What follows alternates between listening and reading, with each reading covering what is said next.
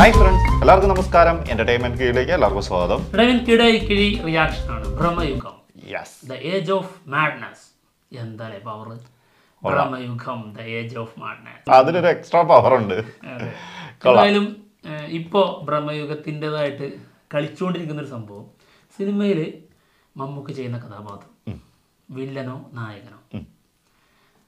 ഇതിപ്പോ ഇത്രയും വന്നത് വെച്ചിട്ട് നമുക്ക് സിമ്പിൾ ആയിട്ട് പറയാൻ പറ്റും കേട്ടോ ആൾ വില്ലനാണെന്നുള്ളത്. പിന്നെന്താ? അതെ. നെഗറ്റീവ് നന്നായിട്ട് നെഗറ്റീവ് ഷെയ്ഡുള്ള ആളാണെന്നുള്ളത് നമുക്ക് മനസ്സിലാവും. വ്യക്തമാണ്. അതെ. പകൽ പോലെ വ്യക്തം. ഏഹ് സംഭവം എന്തായാലും അതിന്റെ അതിന്റെ ഒരു ട്രോൾ വീഡിയോ വന്നിട്ടുണ്ട്. അതായത് ആൾ വില്ലനാണോ നായകനാണോ? പി കെ ട്രോൾസ് ആണ് ഈ ഒരു ട്രോൾ വീഡിയോ ചെയ്തിട്ടുള്ളത് കേട്ടോ. ഓക്കെ. കാണണ്ടേ? കാണാം. ഇപ്പൊ എല്ലാരും ചർച്ച ചെയ്തുകൊണ്ടിരിക്കുന്ന സംഭവമല്ലേ അപ്പൊ നമുക്കും കൂടി നോക്കാം. അല്ലേ? പിന്നെ സങ്കടം വരും ചിലപ്പോ. കുറച്ച് നാളായി ട്രോൾ എടുത്ത് ചെയ്തിട്ട്. ആളും കുറച്ച് ഒന്ന് ആളും കുറച്ച് ഗ്യാപ്പ് ഉണ്ട്. മറ്റേതെന്ന് പറഞ്ഞാൽ ഡെയിലി വരുമായിരുന്നു ഇപ്പൊ ചെറിയ ആ ഇപ്പൊ ചെറിയൊരു ഗ്യാപ്പ് ഒക്കെ വന്നിട്ടുണ്ടായിരുന്നു. ജോലിക്ക് എന്തെങ്കിലും എന്തെങ്കിലും പഠിക്കുന്നുണ്ടാവും. തീർച്ചയായിട്ടും. ഞങ്ങളല്ല കേട്ടോ പി കെ ട്രോൾസ് പി കെന്റെ കാര്യമാണ്. അങ്ങനെ ഒരു സംസാരം കേട്ടോ അതെ. അത് ഞങ്ങളല്ല. അതെ നമ്മളല്ലേ നമ്മളല്ല. യെസ് എന്തായാലും നമുക്ക് പറയാനുള്ളത് സിനിമയിൽ നമുക്ക് ചെയ്യുന്ന കഥാപാത്രം വില്ലനാണ് എന്നുള്ളതാട്ടോ. യെസ് ഇപ്പോൾ ഓസ്ലറിന്റെ സമയത്ത് നമ്മൾ പറഞ്ഞിട്ടുണ്ടായിരുന്നു അവിടെ അതിൽ വില്ലനാണെന്ന്. അതുപോലെ തന്നെ സംഭവിച്ചില്ലേ? അത് പലരും പലർക്കും അത് ജഗദീഷ് വില്ലനായിട്ട് തോന്നിയിട്ടുണ്ട്. കാരണം ജഗദീഷും വില്ലൻ ക്യാരക്ടർ തന്നെയാണെങ്കിൽ പോലും മമ്മൂക്കയും അതേ സെയിം. അതിനേക്കാളും കുറച്ചും കൂടി കൂടിയതെന്ന് പറയാം മമ്മൂക്ക അതെ എന്തായാലും യെസ് നമുക്ക് പി കെ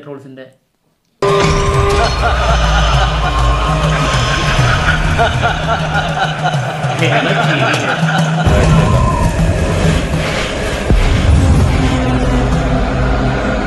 ഭ്രമയുഗം ഒരു പക്ഷേ ഈ വർഷം ഞാൻ കാത്തിരിക്കുന്ന ഒരു ഭയങ്കര എക്സ്പെക്ടേഷൻ ഉള്ള എക്സ്പെക്ടേഷൻ ഉള്ള സിനിമയാണത്. ഐ ആം നോട്ട് കിഡിങ് വളരെ കാലത്തിന് ശേഷം ഒരു അതിഥി എത്തുന്ന മഹത്തായ ദിവസം.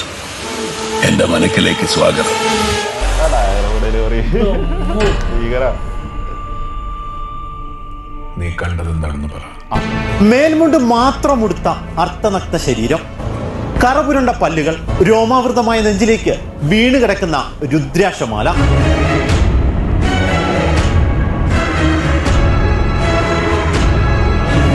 നരച്ച താടിയും മുടിയും ഒപ്പം നിഗൂഢത നിറഞ്ഞ ആ ചിരിയും മമ്മൂട്ടി വില്ലനോ അതോ നായകനോ. ശരിക്കും നിങ്ങൾ ആരാ? நீங்க நல்லவரா கெட்டவரா വെറും പഥികൻ ഏകാന്ത പഥികൻ എവിടെ നിന്നോ വന്ന് എങ്ങോട്ടോ പോകുന്ന ഒരു അപരിചിതൻ A stranger.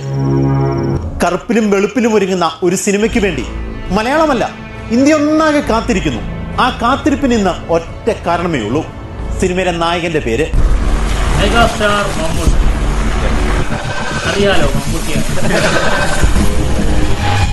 മെഗാസ്റ്റാർ മമ്മൂട്ടി പോയ വർഷം പ്രമേയം കൊണ്ട് അമ്പരിപ്പിച്ച മമ്മൂട്ടിയുടെ ഒരു കൂട്ട സിനിമകൾ. രാജ്യമാകെ സിനിമാ പ്രേമികളും സിനിമാ പ്രവർത്തകരും ഒരുപോലെ ചർച്ച ചെയ്തു? ഈ കാലഘട്ടത്തിനിടയ്ക്ക് എനിക്ക് തോന്നിയിട്ടുള്ളത് പ്രേക്ഷകൻ ഇതൊക്കെയാണ് ഇഷ്ടം എന്ന മുൻവിധിയോടുകൂടി സിനിമയെ സമീപിച്ചിട്ട് കാര്യമില്ലെന്നാണ്. പ്രേക്ഷകൻ എന്ത് കാണണമെന്ന് സംവിധായകന് തീരുമാനിക്കാൻ കഴിയണം. അതാണ് ഞാൻ.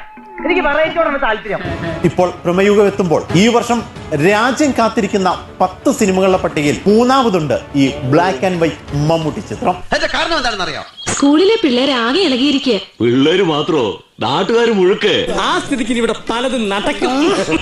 അങ്ങനെ രണ്ടായിരത്തി ഇരുപത്തിനാലിന്റെ അക്കൗണ്ട് മമ്മൂട്ടി തുറക്കുകയാണ് ഫെബ്രുവരി പതിനഞ്ചിന്.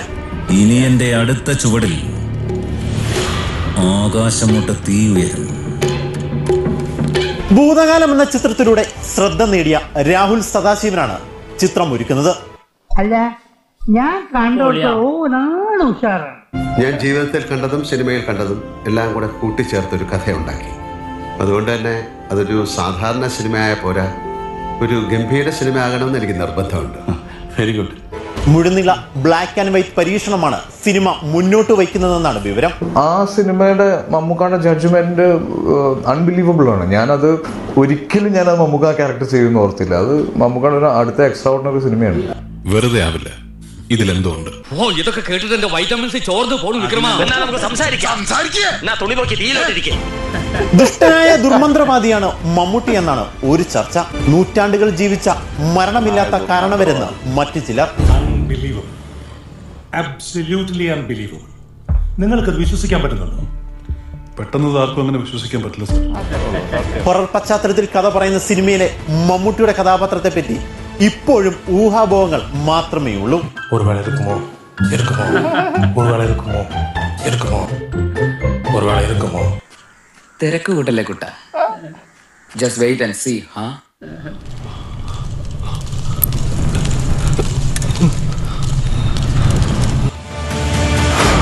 ആ ചിരി കൂടി ഇടായിരുന്നു.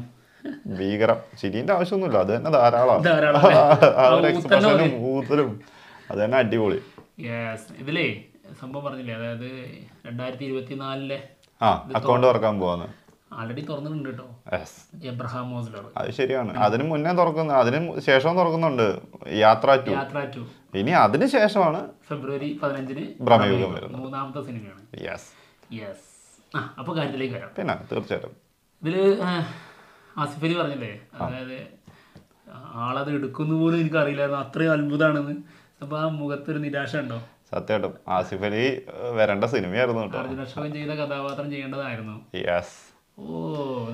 അത് സിനിമ റിലീസ് ചെയ്യുമ്പോൾ ഏറ്റവും കൂടുതൽ വിഷമം. അതായത് സിനിമ ഭയങ്കര വിജയമാണെങ്കിൽ അല്ലെങ്കിൽ ഭയങ്കര ചർച്ചയാവുകയാണെന്നുണ്ടെങ്കിൽ ഏറ്റവും കൂടുതൽ വിഷമിക്കുന്നത് ആസിഫ് അലി തന്നെയായിരിക്കും. എന്തായാലും ചർച്ചയാകുമെന്നുള്ളത് തന്നെയാണ് തീർച്ചയായിട്ടും. തോന്നുന്നത്. സിനിമയിൽ ലാസ്റ്റ് അല്ല ഈ ട്രോളിൽ ലാസ്റ്റ് പറയുന്നുണ്ടല്ലോ. അതായത് മരണമില്ലാത്ത ഒരു കാരണവർ എന്നുള്ള രീതിയിൽ ആ അതായത് മറ്റേ ഇതും പറയുന്നുണ്ട്. അതായത് ദുർമന്ത്രവാദിയായ ഒരു കാരണവർ മരണമില്ലാതെ.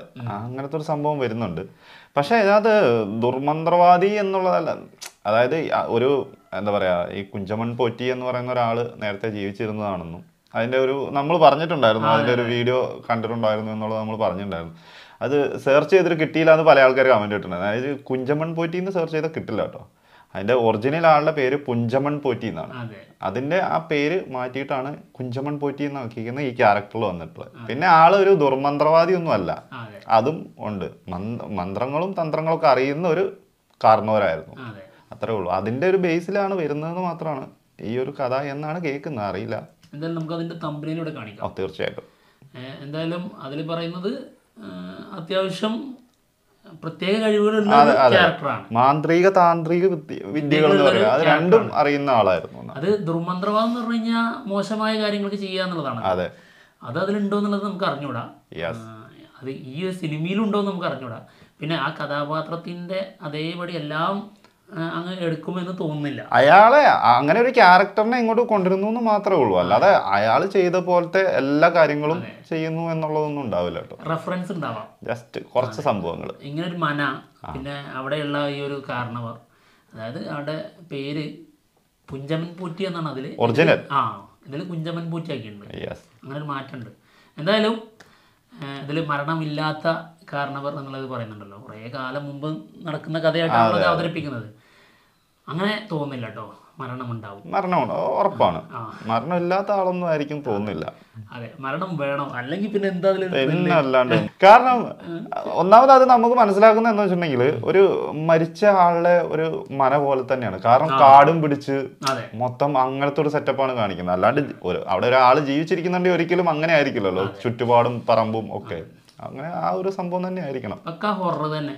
തീർച്ചയായും സംശയമൊന്നുമില്ല. എന്നാൽ അതിൽ വ്യത്യസ്തമായ സംഭവങ്ങൾ ഉണ്ടാവും. അതിന് കാരണം രാഹുൽ സദാശിവൻ എന്നാണ് ഇതിന്റെ സംവിധായകന്റെ പേര്. പിന്നെ മറ്റൊരു കാരണം കൂടിയുണ്ട്. നമുക്ക് നല്ല അന്തസ്സായിട്ട് പറയാൻ പറ്റുന്ന ഒരു സംഭവം കൂടിയാണ്. മമ്മൂട്ടി. അതെ. അതാണ്. അതാണ്. ആ അതും കൂടി ഒന്ന് ആലോചിക്കും കാരണം കഴിഞ്ഞ കഴിഞ്ഞ വർഷത്തെ കാര്യം കൂടി ഈ ഒരു ട്രോളിൽ പറയുന്നുണ്ട്. വെറൈറ്റിയും കൊണ്ട് അതായത് ഓരോ ക്യാരക്ടറും ഓരോന്ന് ഓരോന്ന് വ്യത്യസ്തമായിട്ടായിരുന്നു വന്നിട്ടുള്ളത്. അത് ലോകത്തെ മൊത്തം ചർച്ച ചെയ്യിപ്പിച്ചു. അതെ. അതുപോലെ വീണ്ടും ആൾ ഈ വർഷവും തുടങ്ങും. ഈ വർഷവും തുടങ്ങി. അത്രേ ഉള്ളൂ. ഓസ്ലറി തന്നെ തുടങ്ങി. ഇനി യാത്ര ടു നേരെ വേറെ വിപരീതമായിട്ടുള്ളൊരു സംഭവം. ഇനി വരാൻ പോകണ പ്രമേയം അതാണ് ഈ മമ്മൂട്ടിയാന്ന് പറയുക പോലുമില്ല അങ്ങനത്തെ ഒരു ക്യാരക്ടറും. എന്താണെങ്കിലും ഗംഭീരാവട്ടെ. എന്തായാലും പൊളിക്കും. പൊളിക്കട്ടെ. പിന്നെ അതിൽ അപരിചിതന്റെ ഒരു ഷോട്ട് കാണിച്ചിട്ടേ. അതായത് ഒരു സ്ട്രേഞ്ചർ എവിടെ നിന്നോ വന്ന് എങ്ങോട്ടോ പോകുന്ന സ്ട്രേഞ്ചർ എന്നുള്ള രീതി പറയുന്നത് അങ്ങനെ ആയിരിക്കും അങ്ങനെ അല്ലട്ടോ മനയിലുള്ള ആ അത് അതുകൊണ്ടാണല്ലോ എന്റെ മനയിലേക്ക് ആൾ അവിടെ തന്നെ. അല്ലാണ്ട് എങ്ങോട്ടും പോകുന്നില്ല ആൾ അവിടെ തന്നെ. വന്നവരൊക്കെ ഇറങ്ങി പോയാൽ മതിയായിരുന്നു ആ വീട്ടിൽ.